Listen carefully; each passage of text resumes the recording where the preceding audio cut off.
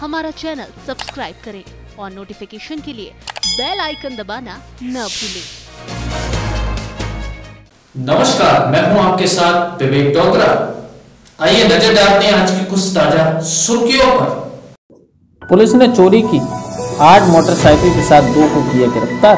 बिजनौर में अपराधियों पर अंकुश लगाए जाने को लेकर पुलिस द्वारा जहाँ लगातार अभियान चलाकर अपराधियों पर शिकंजा कसा जा रहा है वहीं पुलिस ने चड्डा फार्म हाउस के पास बने एक खंडर से पुलिस ने मुखबिर की सूचना पर चोरी की आठ मोटरसाइकिल सहित दो अभियुक्तों को गिरफ़्तार किया है।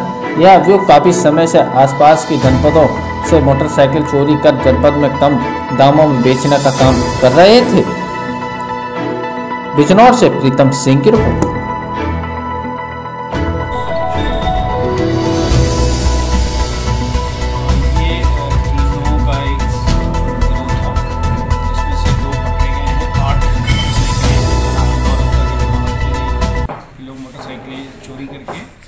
बेचते थे और ये बेचने के लिए ही इकट्ठा किए थे मोटरसाइकिल ले जा रहे थे। उसी क्रम में मुखबिर की सूचना पर इनको अरेस्ट किया गया है। अभी तक दो मोटरसाइकिलें लिंक हो चुकी हैं। एक अमरोहा, जनपद अमरोहा से दूसरी थाना नैयाबाद जनपद बिजनौर के अंतर्गत। बाकी के प्रयास किए जा रहे हैं। एक अभियुक्त नौशाद फरार हो गया है, जिसकी गिरफ्तारी के प्रयास किए जा रहे हैं। इसमें नौशाद और गौरवपुर में भी जो है वाहन चोरी में जेल जा चुके हैं। देश और दुनिया की तमाम छोटी बड़ी खबरों से अपडेट रहने के लिए हमारा